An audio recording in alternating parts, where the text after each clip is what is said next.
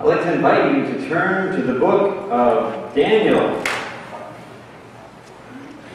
Whoever finds the book of Daniel first gets the prize. I'm sure what it is, all right, you have index Bible, you have all those tabs because then it just counts. Now, the book of Daniel starts in page on page 922 in the Bible in front of you.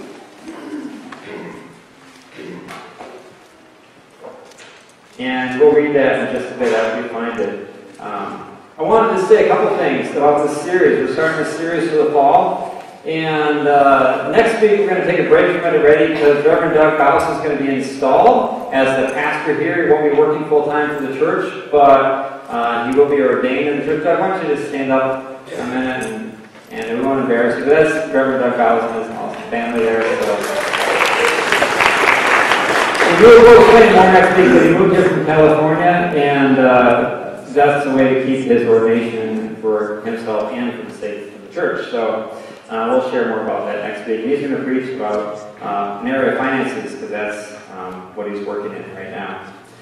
Um, and a couple other things about the series. We're going to bring back the little uh, memory cards, pocket scriptures, and they're at the entrance of the church every week. There'll be a different one. And the idea is to uh, memorize the passage if you like, but also just keep it in your pocket and sort of remember um, the scripture during the week. They do that on Monday night program here, the Powerhouse program here, and the kids pull it out during the week and God speaks to them. So I figured, hey, it works for kids, it works for adults, right? And the kids that are here. So that's why we're doing that. Um, you also notice the, the stations around the sanctuary here. And the idea is to continue um, what Ron started this summer, which is doing art every week about different parts of the passages. Now, we're not used to doing art perhaps when we read the Bible, but you are invited to do that. It's a great way to reflect, to actually spend time with the passage, and God can speak to you as you're creating art. Even if you're like me and your art abilities sort of got stuck at the second grade level, you can still do it. I'm pretty good with the glue gun now, though, so you know, maybe maybe some of you are too. Uh, so let's let's read uh, some of the passage for this morning, in Daniel chapter one. I won't probably read the whole thing, but I'm going to read the part that I'm going to preach on. In this third year of the reign of Jehoiakim, king of Judah, Nebuchadnezzar, king of Babylon, came to Jerusalem and besieged it. And the Lord delivered Jehoiakim, king of Judah, into his hand, along with some of the articles from the temple of God. These he carried off to the temple of his God in Babylonia, and put in the treasure house of his God. Then the king ordered Ashpenaz, chief of the court officials, to bring in some of the Israelites from their royal family and the nobility, young men without any physical defect, handsome, showing aptitude for every kind of learning well informed quick to understand, and qualified to serve in the king's palace. He was to teach them the language and literature of the Babylonians. The king assigned them a daily amount of food and wine from the king's table. They were to be trained for three years, and after that they were to enter the king's service. Among these were some from Judah Daniel, Hananiah, Mishael, and Azariah. The chief official gave them new names. To Daniel, the name Belteshazzar, to Hananiah, Shadrach, to Meshach, Meshach, uh, to Mishael, Meshach, and to Azariah, Abednego.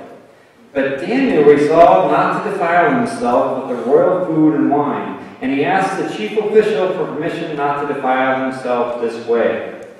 Now God caused the official to show favor and sympathy to Daniel, but the official told Daniel, I am afraid of my lord the king, who has assigned your food and drink. Why should he see you looking worse than the other young men your age? The king would then have my head because of you. Daniel said to the guard whom the chief official had appointed over Daniel, Hananiah, Mishael, and Azariah, Please, test your servants for ten days. Give us nothing but vegetables to eat and water to drink. Then compare our appearance with that of the young men who eat the royal food, and treat your servants in accordance with what you see. So he agreed to this and tested them for 10 days. At the end of the 10 days, they looked healthier and better nourished than any of the young men who ate the royal food. So the guard took away the choice food and the wine they to drink and gave them vegetables instead.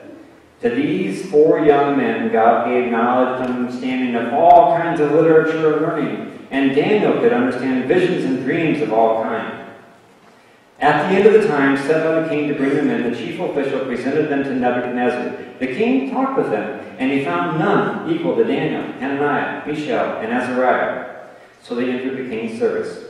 In every manner of wisdom and understanding about which the king questioned them, he found them ten times better than all the magicians and enchanters in his whole kingdom, and Daniel remained there until the first year of King Cyrus. This is the word of the Lord. Thanks be to God. So I gotta be honest, I felt led to preach in the book of Daniel because of the current political situation, in which things just go from crazy to crazier to craziest. But as I was preaching and I was getting ready to preach this week, and I realized and felt convicted that I couldn't really focus on that because uh, focusing on crazy and Sunday morning doesn't really help anybody uh, to live that well. But that isn't the background. Daniel lived in a very dysfunctional political situation. And we don't live in that much crazy, but um, some of us are a little bit dismayed at our options this year. I'll leave that there, you know, come back to it the end, but it's not too much. But as I uh, was looking at this passage, I realized really it speaks to us on a personal level in a much more powerful, much more day by day uh, way. And that is when things get crazy in our personal lives. Daniel gives a great example, great teaching, and points toward Jesus who helps us through these kind of difficult, life altering uh, circumstances. Especially thought about this week as excited about Charles and Rochelle. So really this is an example, as an example or a teaching about how to live in the midst of life when circumstances are completely beyond our control. I want to get into this uh, passage this morning by simply uh, sharing a little bit of uh, somewhere I was this week. This is a place just behind the building, and I was coming home from something, visiting somebody, and I was just struck by uh, this particular location because it's just a parking lot behind the building. I wasn't stopping to rest. There's a mud puddle, and you know it's not really industrial wasteland, but it's kind of neglected land, and there's really nothing there for anybody that people would find attractive. It turns out stores um, spend their money on making the front of the building look good, and the back was just garbage cans and mud puddles. But right here, as I turned around, there was this spot. And a lot of the grass is kind of dry right now. It's in the season. A lot of things have died. But there was this spot that was covered by kind of a sweet pea vine, and there's some goldenrod in it. And there was grasshoppers everywhere. And I looked up, and there was dragonflies buzzing all over this area. Of course, there was mosquitoes, but they weren't bothering me. Uh, dragonflies were eating them. But it was just this beautiful um, kind of oasis, in a sense. And uh, even the humidity is coming off these plants, almost like a microclimate there. And I was thinking of this passage in the sermon I was going to preach, and I thought, you know, the invitation here is in the midst of waste, in the midst of having a life that's sort of torn apart, you're invited to find a place like this, perhaps inside more than outside, of uh, basically uh, experiencing the goodness of God and learning how to follow Him. This passage starts in a very difficult time. It says, In the third year of the reign of Jehoiakim, king of Judah, Nebuchadnezzar, king of Babylon, came to Jerusalem and besieged it. Some background might be helpful here. Israel is right here in this area between Egypt and Assyria, and then it became Babylon. The capital of Assyria is up here. Uh, Babylon, or current day Baghdad, is over here, same spot. And so Israel was in this constant conflict between Egypt that wanted this space because it's a trade route, and Assyria and then Babylon that wanted to control this space because it's a trade route across what the Ancient world. And Israel is right here in the midst. And when they worshiped God and served God, God protected them. But when they worshiped the false gods, God didn't protect them and allowed them to get harassed by, well, Egypt and the regions to the north here. There's a long line of kings, and I'm not going to go through all these, but if you read Second Chronicles or the end of Second Kings, you see the story of these kings. And there's some great stories. This Uzziah guy here invented the catapult. Really? That's in the Bible? Uh, read that. And uh, then Jotham, Ahaz, Hezekiah, he was a reform guy. He reformed the nation of Israel. Manasseh was pretty much messed up until he got taken captive. Then you have Josiah, Jehoahaz, Jehoiakim, Jehoiachin, Zedekiah, and Zedekiah finished the whole thing off by running away really fast to Egypt, even though God told him not to. So the third king from the end, Jehoiakim, was defeated after a really serious siege and carried off to Babylon. This is a picture that someone drew of the defeat of, um, of Jerusalem. So, Daniel, I don't know if you ever caught this as you read the book of Daniel. You know, we did a lot of this when we were younger. Uh, Daniel in the lion's den, there be Daniel. But I don't know if I ever caught this. Daniel was uh, of noble family. So he would have experienced a couple things being of noble family at this time. He would have experienced wealth and privilege, but perhaps more importantly, he would have experienced something called syncretism. And syncretism is when you put two things together in religion that aren't meant to be together. So this royal family worshiped God in some way. All their names have the word Jehovah, which is about like God who is, or the word El, which is the Most High God. And all their names have this. They definitely did things they knew about God, but they also did things like offer their kids as sacrifices on the altar of Ben. They did horrible things. They worshiped other gods all the time, so they were very syncretistic. And Daniel, as one of these uh, Noble's children would have experienced uh, both of this. Worship of the one true God, would have known about that, would have been trained in that. But he also would have known a lot about how to worship false gods.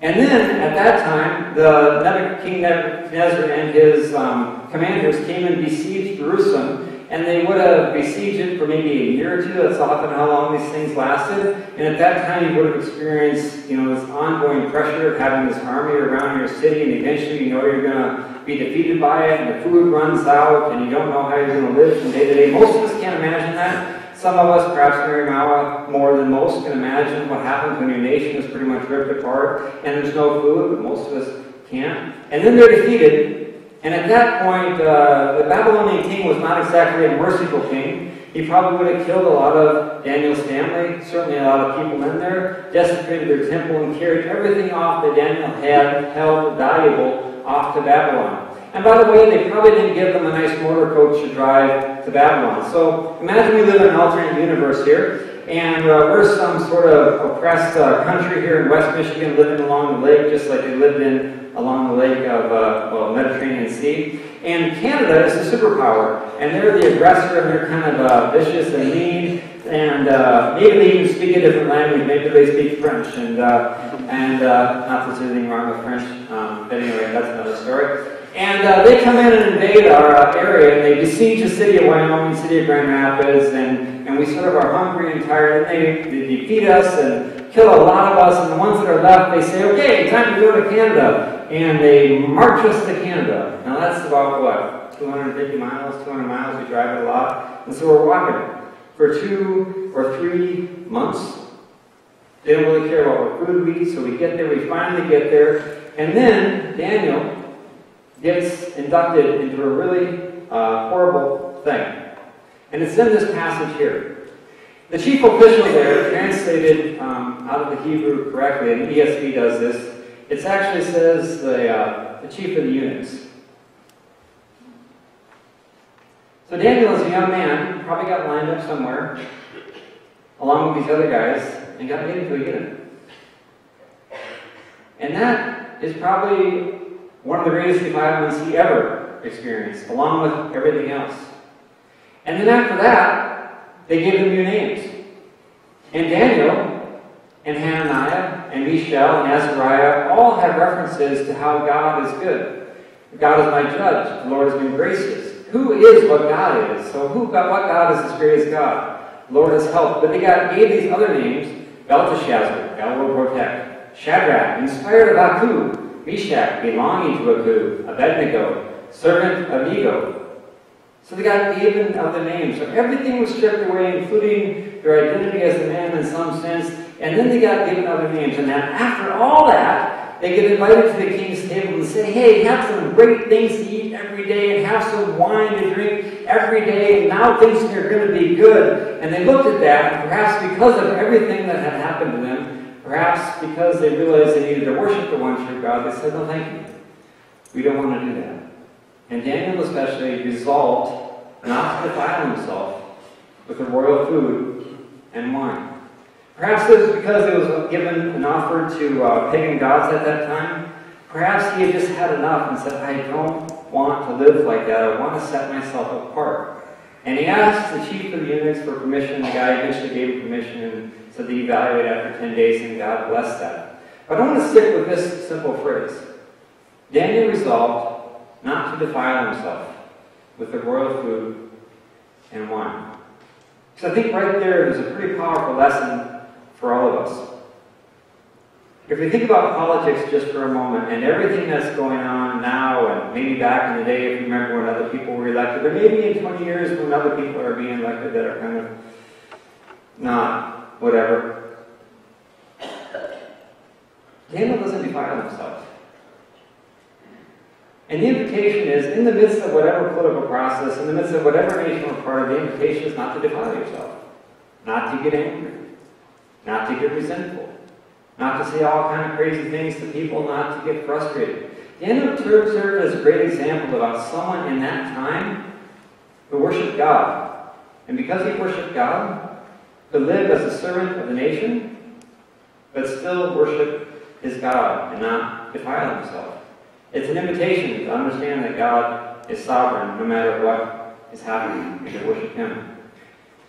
Also, I think perhaps even more powerfully, it's an invitation not to defile ourselves, even if we ourselves have been defiled. And this is a little bit difficult to teach on Sunday morning.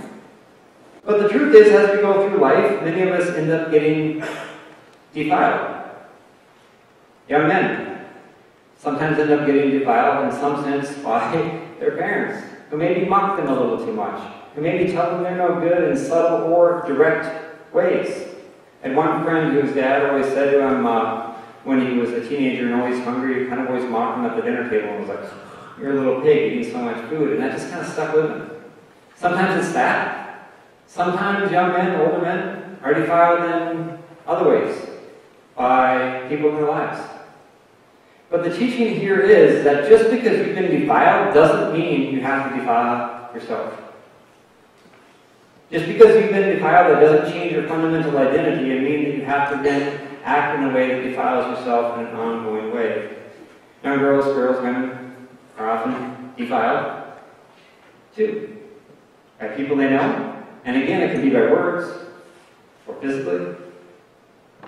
And when that happens, the temptation is to defile ourselves because we somehow think we're unclean and we feel like we're unclean and the world around us tells us we're unclean. But again, the teaching and invitation from Scripture is to understand that just because you've been defiled doesn't mean you need to defile yourself. And the teaching for all of us is whether we get sort of defiled at work by people who constantly run us down again and again, or perhaps we continually get fired or dismissed from this role or that role, or perhaps we just feel like we're defiled because our health doesn't work and we just sort of feel like not so good inside all the time, and our back doesn't work, and our kidneys don't work, and something else doesn't work, and think, oh my goodness, I'm just somehow fundamentally defiled. Just because that happens doesn't mean we need to defile ourselves. Somehow, I don't know what process Daniel went through, but somehow he chose, at the end, he might have gone through difficulty, but he chose at the end not to defile himself in this way, because even though he'd experienced all this, he wanted to set himself apart. So I thought, how on earth can I illustrate this? And I came, came up with some sort of a, you know, I don't know, it's kind of a goofy way. It certainly will lighten the mood a little bit, but I thought of a peanut butter and jelly uh, sandwich. A peanut butter and jelly uh, sandwich. First of all, let me just ask, who likes peanut butter and jelly sandwiches, right? And who doesn't? Who hates them, right? Can you be American and not love a peanut butter and jelly sandwich? The answer is yes, yes you can. Alright, so how this works is you get some regular bread, kind of out of the bag, kind of standard issue uh, bread. I think this is from Aldi. And uh, then you take some um, jelly, and of course every peanut butter and jelly sandwich can be made. And you learn real quickly if you're uh, married to Marsha to do the jam first, right? Otherwise, the peanut butter gets in the jam, and that's not good. That causes problems later. Every time. so what you do is you take the jam, you have whatever jam you have, this is uh, natural, and sometimes, uh, of course, this is an analogy to us. Uh, so sometimes we think, you know, I am just sort of plain. I'm not quite as bright as everybody else, just like the strawberry jam is kind of plain. And uh, but it is what it is, kind of a mix. Who knows where the stuff came from? Uh, we certainly didn't watch it grow. Smucker's is a good brand, but who knows what they're doing in their factory, right? And uh, we put it on, and that's one half of it. And you always grab another knife just in case you mess up. And you get the peanut butter out. And, uh, well, peanut butter is this kind of weird stuff. It's really actually only American. People around the world, people are kind of crazy for doing this. Um, but because of the South and how that happened, we got peanut butter turned out a great agricultural crop. You kind of mix it up because the oil comes top, and then you take it out and you go, oh, that's so good. I need it, but then I stop talking. All right, so you put that on there, and uh, it's kind of sticky. Put it on there. Did you ever get peanut butter at horse, by the way? You should do that sometime. Dog, yeah, that's more accessible. I'm not saying you should do that, it's just thinking of that. So, all right, and then you put it together, and then you got a peanut butter and jelly sandwich. And uh, I used to take these to work a lot because I really like them. I take two or three. Um, but now I don't really eat them anymore because uh, I'm older and uh, I don't eat much bread anymore because it makes me feel very good. But so now we've got a standard issue peanut butter and jelly sandwich. And it's, you know, bread, it's just peanut butter and jelly. And it's kind of an average uh, sandwich, really common. And, uh, you know, some people don't like it at all. Some people, my, my father-in-law hates peanut butter. He doesn't want to be anywhere near. And then, um, you know, sometimes we uh, drop our sandwich, right? We pull it out of work lunchroom board and sort of drop it.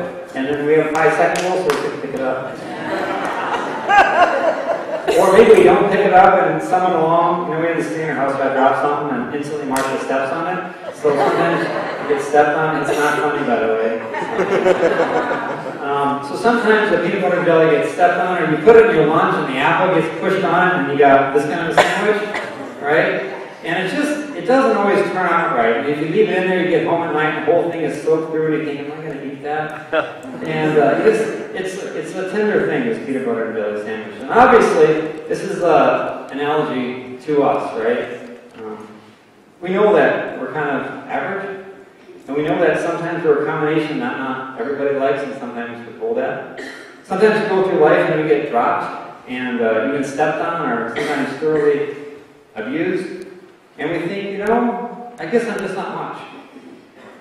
And when we think we're not much, it's pretty easy to treat ourselves like we're not much, to use the biblical word to defile ourselves.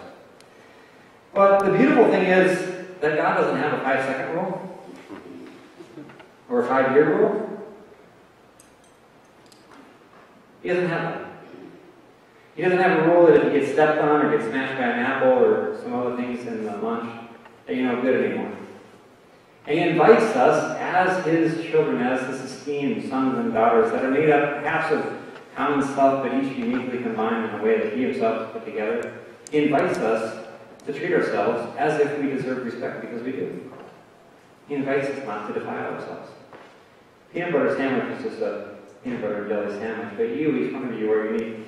Even if we feel like, even if we have indeed done these things. And some of us went on to defile ourselves even more. Some of us defiled other people, but it doesn't matter what we've done. God invites us not to defile ourselves.